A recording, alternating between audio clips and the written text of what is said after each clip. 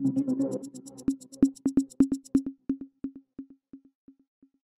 बता दें SOG team की बड़ी कार्रवाई आई सामने। ट्रैक्टर चोरी गिरोह के छह सदस्यों को पुलिस ने किया गिरफ़्तार।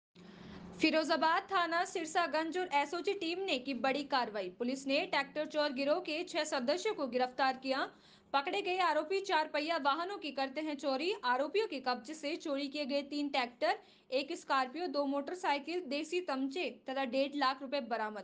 पकड़े गए आरोपियों के खिलाफ कई जनपदों में दर्जनों आपराधिक मुकदमे पंच देखिए हमारे जनपद की जो एसओजी टीम है और एसएचओ सिरसागंज इनकी टीम यहाँ के जो सीओ हैं सीओ सिरसागंज के निर्देशन में, इन लोगों ने एक ट्रैक्टर चोर का एक बहुत ही बड़ा गैंग था, जिसको इन लोगों ने वर्कआउट किया है।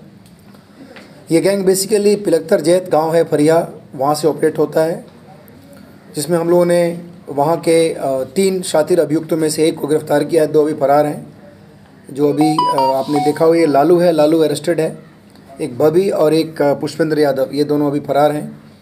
छः लोग गिरफ़्तार किए गए हैं इस पूरे गैंग में से छः अभी फरार हैं।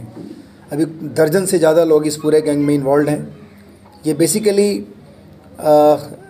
जनपद सिरसा जनपद फिरोज़ाबाद और इसके आसपास के जनपदों से ट्रैक्टर चोरी करते थे और इसको लेकर के यहाँ से काफ़ी दूर यानी अमरोहा या उधर से भी आगे जनपदों में इसको बेचते थे और उससे ये पैसा कमाते थे। सर क्या क्या इन लोगों से हम लोगों ने तीन ट्रैक्टर बरामद किए हैं जिसमें से एक ट्रैक्टर दोहली कला एक जसराना और एक गिरौड़ से चोरी की गई थी।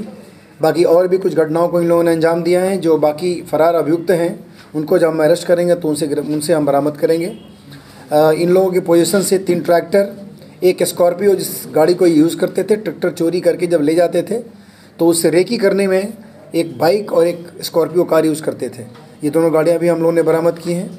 तो इस प्रकार तीन ट्रैक्टर एक स्कॉर्पियो एक बाइक बरामद की गई है। छः लोग अरेस्ट हुए हैं और छः फरार हैं। बाकी इसमें हम लोग अग्रिम कार्रवाई कर रहे हैं। सर कोई हत्या भी बरामद हुआ है क्या? इसमें से एक एक हथियार बरामद